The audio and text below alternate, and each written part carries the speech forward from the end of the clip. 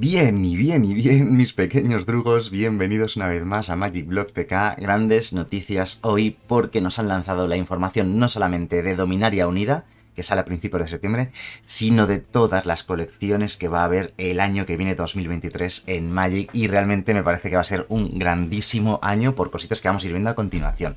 Bueno, pues ya tenemos toda la información, como digo, eh, lo han anunciado a diestro y siniestro por todas partes. Nos han estado bombardeando durante las dos últimas semanas con este gran anuncio que hicieron durante el día de ayer y que hoy os voy a resumir aquí. A ver, mucha de la información que vais a ver ya la conocíamos o teníamos algún indicio porque eh, ya hicieron el anuncio del anuncio o ya lo comentaron hace tiempo, pero bueno, vamos con el lío. Tenemos que, ya sabéis, veis el gran anuncio el 18 de agosto. Bueno, primero, Dominaria Unida, ya lo sabíamos. Eh, aquí tenemos algunas imágenes de Dominaria Unida. El lanzamiento oficial de la colección es el 9 de septiembre, pero lo vamos a tener disponible ya en Magic Arena a partir del 1 de septiembre, Magic Arena y Magic Online. Magic Online es la vieja plataforma digital de Magic.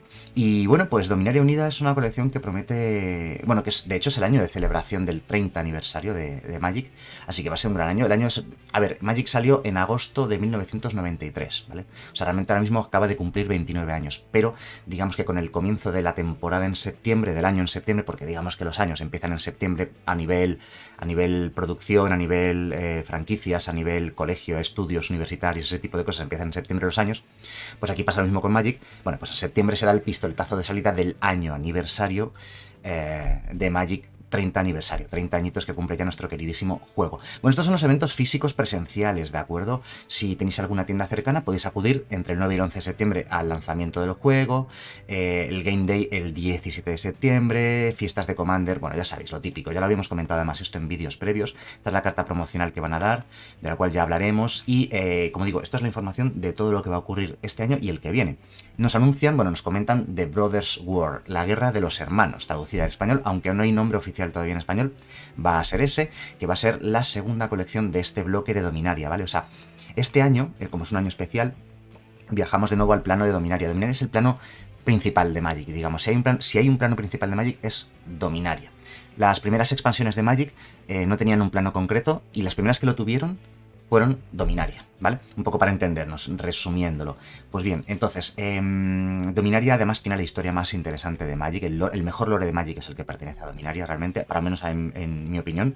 Para los que os guste el lore, en los comentarios debajo comentando y opinando, porque yo la verdad que ya sabéis que no tengo ni idea de lore ni me gusta demasiado el asunto. Y em, entonces nos van a contar aquí la guerra de los hermanos, ¿vale? Eh, los hermanos Urza y Mirza que pelearon y bueno, no quiero hacer spoilers ni quiero contar nada de la historia, por si no sabéis nada de ella, buscando por internet o algún vídeo por ahí por YouTube, que habrá muchas explicaciones. Bueno, pues la segunda colección del bloque va a ser un bloque, y no quiero hacer más spoilers, dedicado a Dominaria. Primera colección, Dominaria Unida. Segunda colección, parece que no está tan unida, tan unida Dominaria porque se llama La Guerra de los Hermanos. Parece que Urza y Misra vuelven a las andanzas. Y esta colección que saldrá en, en noviembre de este mismo año, ¿vale? Es decir, ocurre como en los últimos años. Nos van a meter cuatro colecciones durante el año cuando antes metían tres. Bueno, cuatro no miento, cinco cuando antes metían cuatro, para entendernos mejor. Dice el pre-release que va a ser el 11 de noviembre, por lo tanto, una semana antes, unos ocho días antes, unos ocho días antes, entonces el 3 de noviembre probablemente esta colección salga para Magic Arena y bueno, pues va a ser, digamos, la continuación de Dominaria Unida, la guerra de los hermanos, Brothers War. Me encanta el código de tres letras, todas las colecciones de Magic tienen un código de tres letras. Este año, eh, bueno, esta colección se llama Bro, de código de tres letras, que tiene bastante gracia. ¿Sabéis lo que me gusta muchísimo? El diseño de la caja. Me encanta la tipografía que han elegido y el enfrentamiento entre los hermanos. Va a ser muy molona esta colección. Bueno, pues estas son cartas promocionales que va a haber. No tienen por qué salir en la colección. Vamos, no van a salir en la colección. Eh, supongo. Ah, bueno, los elfos, eh, estos elfos, eh, ¿cómo se llaman estos elfos? elfos del bosque podrían llegar a salir, el muro de ramas podría salir, el Windfall no va a salir. Yo creo que son promocionales, no creo que quieran decir que vayan a salir en esta colección, son promos, como pone aquí. Pero nunca se sabe, lo mismo sacan las tres, no lo sé. Estas tres, estas dos primeras son bastante de estándar. Pueden ser de estándar perfectamente las dos, pero esta de aquí la veo un poco más chunga, un poco peor. Vale, empezamos con el año 2023 y año 2023 volvemos a Pirexia. Volvemos al plano de Pirexia. Pirexia, all will be one. Así que continuamos, pero nos, nos, aclaran, nos dicen que va a seguir perteneciendo al mismo bloque de Dominaria. Aunque estemos en el plano de Pirexia, algo va a ocurrir en Dominaria Unida y en la Guerra de los Hermanos que nos va a llevar a Pirexia o algo relacionado con Pirexia. No tenemos información, lógicamente, porque es la primera vez que nos comentan algo de esto, ¿vale? Esto sí que es novedoso. Ya sabíamos que iba a haber una colección llamada Dominaria Unida, ya sabíamos que iba a haber una colección llamada La Grada de los Hermanos que iba a salir en noviembre, septiembre y noviembre, respectivamente, y sabíamos que iba a haber una colección que salía en, noviembre, en enero perdón, del año que viene, pero no conocíamos el nombre, y al final se ha revelado que volvemos a Pirexia con los pirexianos, que son como los malos de la peli, y, bueno, eh, ya tenemos por primera vez la confirmación de que esto es lo que va a ocurrir. Y nos avisan que va a ser una continuación del bloque relacionado con Dominaria. Pero no queda aquí la cosa, porque la cuarta colección, Marcha, March of the Machine, es decir, la marcha de las máquinas, me imagino, eh, o la marcha de la máquina, no sé, eh, va a ser la cuarta colección del bloque de Dominaria Unida. Vamos a tener un bloque de cuatro colecciones de Dominaria. Creo, de hecho, que es la primera vez en toda la historia de Magic que hay un bloque de cuatro colecciones. Mm, porque mm, antiguamente en Magic todos los años había un bloque de tres colecciones, todos los años. Te sacaban un bloque de Mirrodin, por las tres colecciones eran de Mirrodin. Te sacaban un bloque de Ravnica, las tres colecciones eran de Ravnica. Como siempre, cada año sacaban tres colecciones más la básica del veranito, pues al final eran cuatro colecciones anuales, ¿vale? Tres de un bloque y una colección básica con cartas más básicas. Actualmente en Magic dejaron de hacer eso hace unos años y ya no hay bloques de tres colecciones, sino que sacan colecciones sueltas, a lo mejor un pequeño bloque de dos colecciones. Bloque queremos decir colecciones que van juntas. Bueno, pues eh, hubo un año, hace muchos años, que sacaron dos bloques de dos colecciones el mismo año. El bloque de Lordwyn y el bloque de Páramo Sombrío pero eran independientes. Creo que tenía alguna mínima relación, pero eran independientes, eran dos más dos. Nunca dijimos que fuese un bloque de cuatro colecciones, eran dos bloques de dos. Creo que es la primera vez, si alguien me puede corregir con esto en los comentarios debajo que lo ponga, creo que es la primera vez en historia de Magic que tenemos un bloque de verdad con cuatro colecciones de una misma temática. Salvo que Pirexia no lo queramos contar dentro del bloque de Dominaria, pero vamos, yo creo que sí que va a formar parte de la historia, según he entendido, vamos. Bueno, pues eh, cuarta y última colección, la marcha de las máquinas o la marcha de la máquina. Em, tenemos aquí a Teferi, por cierto, aquí delante. Así que nada, va a ser como digamos el punto final de este... Uy, spoiler. Bueno, spoiler, lo iba a contar eh, automáticamente. Acaba... No ponen fechas, por cierto, os he dicho una cosa. Pirexia eh, no tiene fecha. No hay fecha anunciada concreta. Yo he dicho enero. Dice primer cuarto, ¿vale? Dice en primer cuarto del 2023. In the first quarter of 2023. En el primer cuarto de 2023, apostad por enero, febrero como mucho. Y por tanto, marcha de las máquinas eh, marzo, abril, mayo como muchísimo de 2023. Podría ser, ¿vale? Aquí las fechas no las tienen ellos confirmadas, menos aún yo, ¿no? Entonces, ¿qué va a pasar en verano? En verano, julio, julio, agosto, va ocurrir una cosa gordísima. Una de las colecciones que más ha roto Magic en los últimos años los últimos 10 años probablemente, fue el trono del Drain. ¿Qué ocurre? Ya lo habéis visto porque se me ha colado. Volvemos al Drain. Wilds of el Drain. No sé cómo lo traducirán. Los salvajes del Drain podría ser. Depende de cómo se interprete Wilds, ¿vale? Eh, depende de la, del lore del juego, de la ambientación de la colección, ¿vale?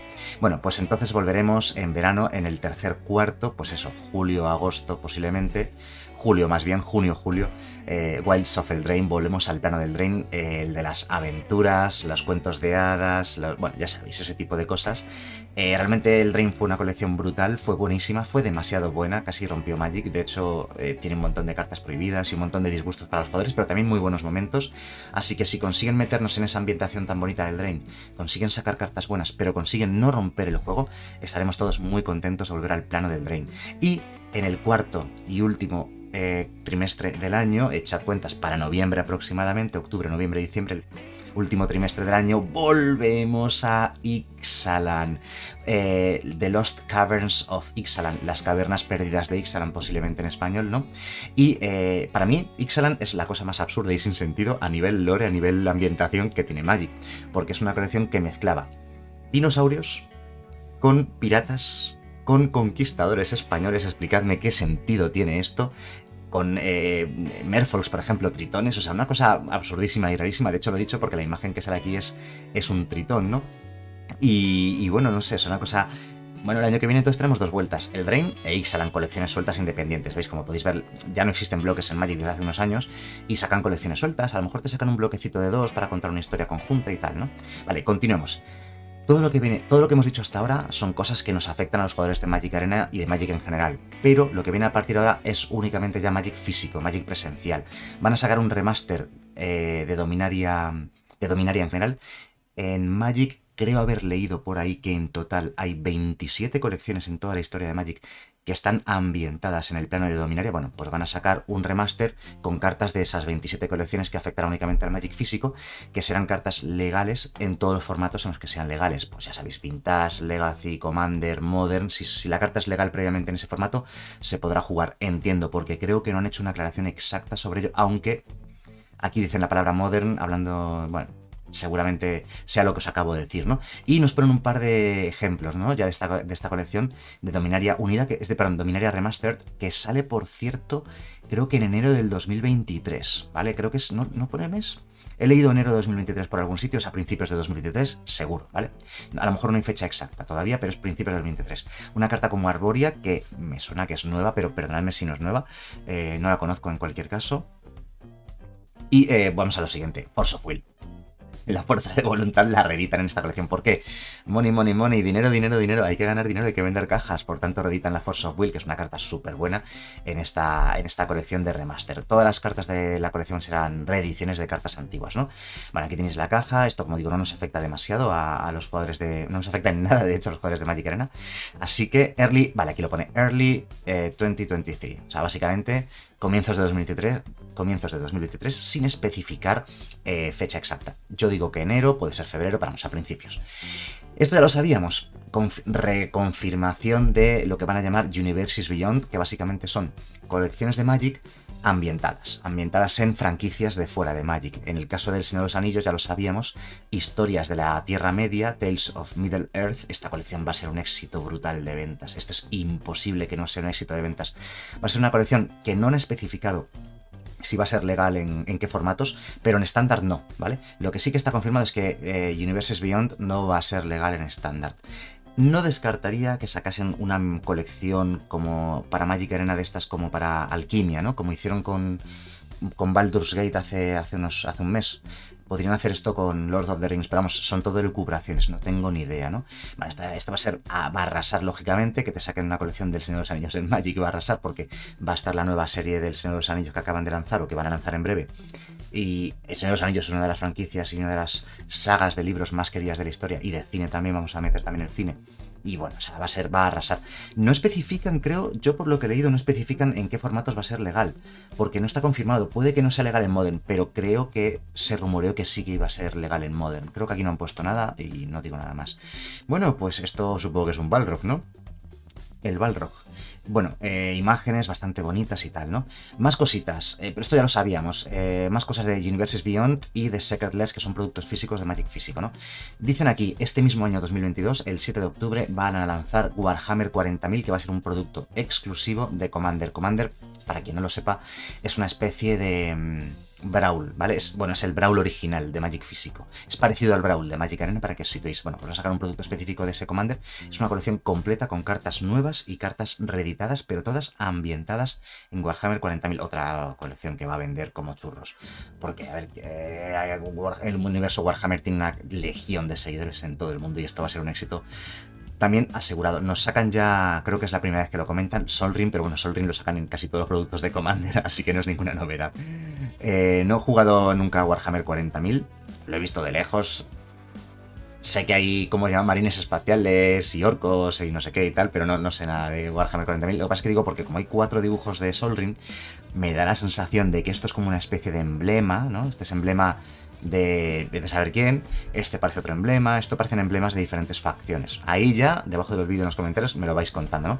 De hecho, pone que van a sacar, además de la colección, van a sacar varios Secret Lair, ¿vale? Uno de orcos, otro de Age of Sigmar y otro Blood Bowl. Blood Bowl, Blood, Bowl sé que es lo del fútbol americano este de Warhammer 40.000. Eso sí que lo, conocía porque lo he visto jugar, ¿no? Eh, aquí esto es novedad y ya, ojo, os, os estoy spoileando todo.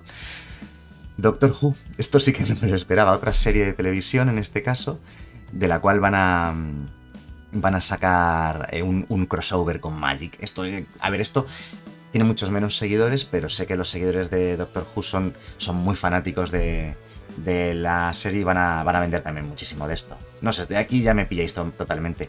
Y de hecho, creo que dice que van a ser cuatro mazos de Commander, ¿vale? Con tratamientos especiales, eh, sobres de coleccionista, y un Secret Lair adicional. O sea que no va a ser un producto, no va a ser una colección completa como la de Señor de los Anillos que sí va a ser. La de Warhammer van a ser una... Warhammer y Señor de los Anillos va a ser una colección completa, hecha de cuentas de unas 250 o 300 cartas. Doctor Who al parecer va a ser algo más comedido. Van a ser... Espérate, sí, van a ser... Espérate. ¿Estoy diciendo mal lo de Commander?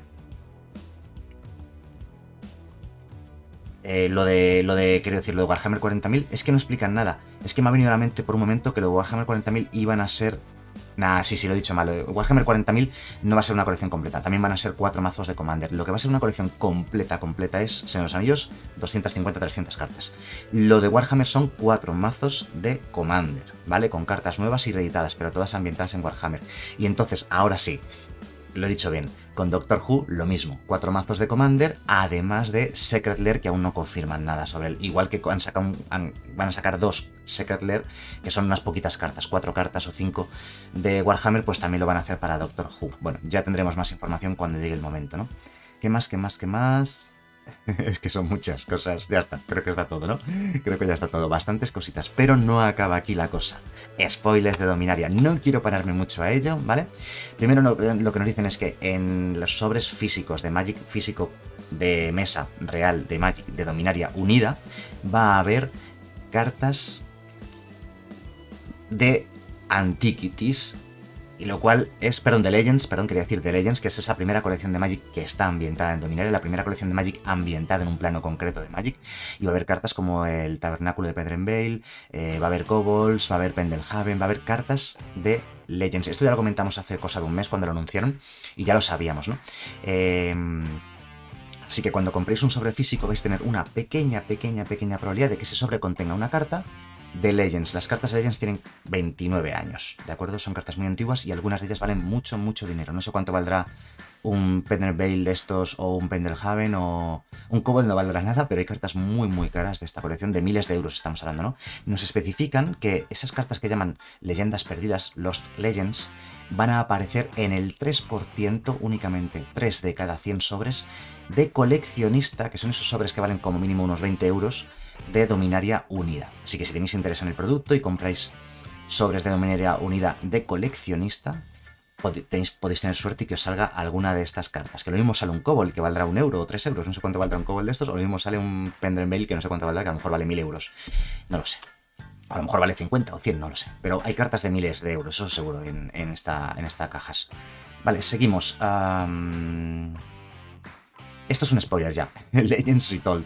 No sé qué quieren decir con esto. Porque no lo he leído, sinceramente, pero es un spoiler. Vale, no voy a leer la carta en detalle. Si vosotros la queréis leer, leedla. Son spoilers, ¿vale? Como os he dicho antes. Quien no quiera ver los spoilers, que no los vea. Yo no voy a hacer spoilers de esta colección.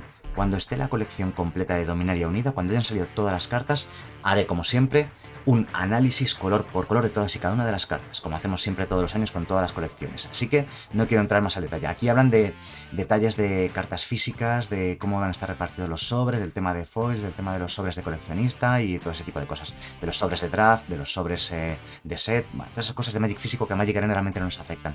Estilos de cartas, tierras de estilo me llaman aquí Stained Glass, no sé cómo traducción al español, así que no me mojo, posiblemente vitrina, ¿no? Es que de hecho estas eh, creo que ya existen en Magic y se llaman vitrina. Bueno, el caso es que en Magic Arena esto saldrá, saldrá algún tipo de bundle seguro o estilo de carta o lo que sea.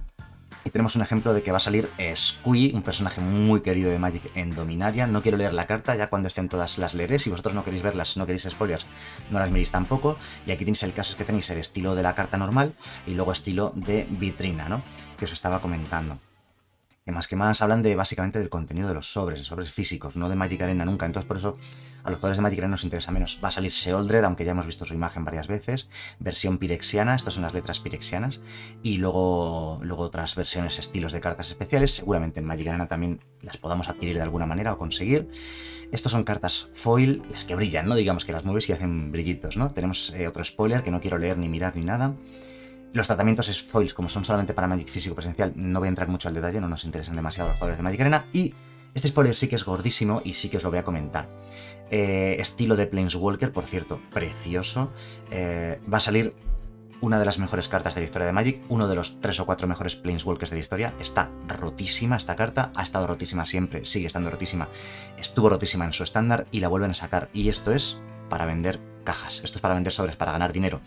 Bueno, pues Liliana of the Veil, la Liliana del Velo. Uno de los mejores Planeswalkers de la historia, lo reeditan para esta colección, lo cual les asegura vender un montón de cajas. Esta carta, en Magic físico, Magic presencial, creo que está en torno a 70 euros a día de hoy. A ver, va a estar bien que la reediten, porque así la gente bajará mucho de precio por el aumento de oferta y la gente la podrá volver a comprar. Va a fastidiar a la gente que se haya gastado 70 euros recientemente en ella, porque bajará a 30 o 40 euros como mucho. Así que, bueno, en cualquier caso, es una carta que está rotísima. Espero que no se cargue estándar esta carta puede que se la cargue, o sea, puede que se cargue estándar, puede que acabe prohibida y mil cosas de ese estilo. Esperemos que no, porque la carta es fortísima. Nos confirman que va a haber una Hani en Dominaria, lo he leído, es muy malo, no me gusta. Por cierto, este mana híbrido pirexiano, no sé si es la primera vez que sale mana híbrido y pirexiano, se puede pagar con mana verde, con mana blanco o con dos vidas, como queráis. Bueno, no quiero leerlo, ya os digo, la carta la he leído desgraciadamente, no quería leerla, no quiero que la leáis, eh, no quiero leerla para que quien no quiera ver spoilers no se lo trague. Y bueno, todos los estilos que va a tener este Hani, ¿no? Aquí un poco resumidos, incluso con letras pirexianas. Y esto es otro de los grandes spoilers de la colección, que sí lo voy a comentar, ¿vale? Porque, bueno, al fin y al cabo son solamente tierras. Y lo que os dije hace poquito, hice, unos un vídeo hablando de mazos de la rotación. Y yo decía, bueno, tranquilos, se nos van muchas tierras dobles que dan dos colores, pero seguro que en Dominaria van a sacar tierras dobles que dan dos colores. Aquí las tenéis. Las dual, eh, las, perdón, las Painlands. Se llaman Painlands. Pain significa daño en inglés porque hacen daño, ¿vale? Las Painlands son tierras que dan mana o incoloro o de dos colores distintos. O blanco o azul en el caso de las Adarkar el caso es que te hacen un daño. Cuando dan mana coloro, te hacen daño. Son muy, muy, muy, muy buenas y, son muy queridas. Creo que son originales del bloque de invasión, si no me equivoco, ¿verdad? Si alguien me corrige en los comentarios, pero creo que son originales del bloque de invasión, que si no me equivoco también, creo que es del año 2001, puede ser el bloque de invasión, 2001-2002, ¿verdad? Bueno, pues aquí tenemos las eh, Dual Lands, eh, las Painlands que vuelven a salir con dibujos em, que nos recuerdan a las originales, ¿vale?